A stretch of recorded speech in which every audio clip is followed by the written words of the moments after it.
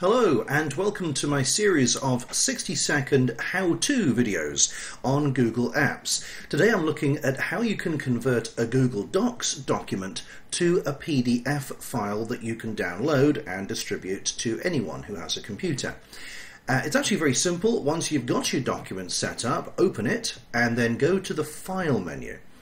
When you go to File, you'll need to come down to Download As, and here you have a range of different document format options, and you'll notice that PDF is listed halfway down.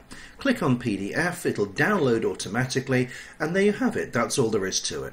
I hope you found that useful. If you did, please do give this video a quick thumbs up, and don't forget to subscribe. Thank you very much indeed for watching, and I'll see you in the next video.